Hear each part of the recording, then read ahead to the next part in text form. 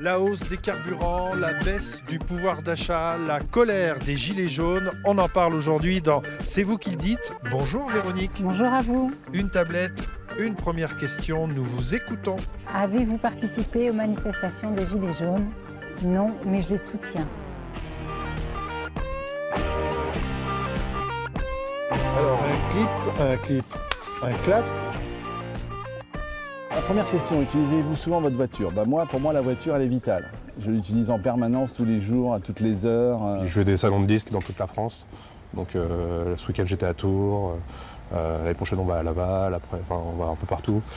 Pour faire mes marchés, pour euh, mes plaisirs, bien sûr aussi, faire mes courses. euh, Pour aller chercher euh, mon fils à, à l'école. C'est indispensable. c'est indispensable.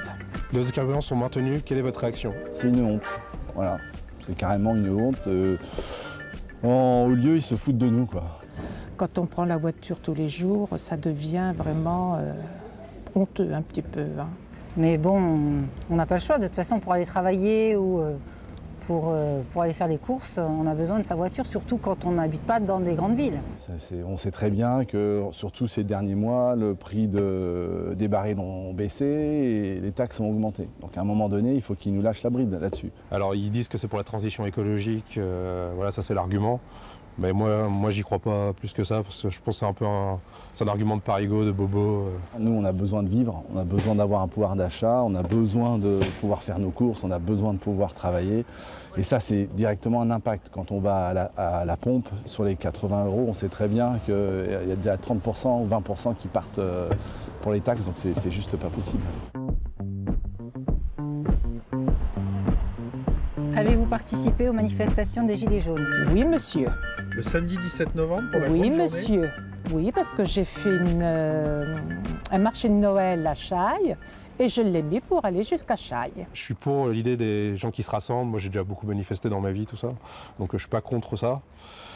Après, faut pas se tromper de cible. C'est pas les Français qui sont responsables de la hausse des carburants. Êtes-vous favorable à la poursuite du mouvement? Oui, mais il y a un mais. Je trouve qu'ils ont raison, mais bon, empêcher les gens d'aller travailler, bon, c'est vrai que ça, c'est un petit peu euh, un gros problème. Comment tout cela va-t-il finir selon vous? Bah, mal pour eux, parce qu'à un moment donné, ils vont se représenter. D'accord? Donc, euh, s'ils comprennent que on les a élus et que là, on n'est pas content et qu'ils font un petit peu marche arrière, bah, très bien, ça c'est un bon point pour eux. S'ils ne le font pas, bah, au revoir, euh, monsieur Macron. Je pense que si le gouvernement continue comme ça, là, puis les gouvernements qu'on a eus, à la fin, alors moi je crains une guerre civile.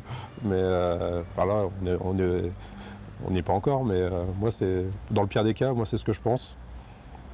Et euh, sinon, il faut un gouvernement qui recule et, et faire une politique beaucoup plus sociale pour que ça se calme. quoi.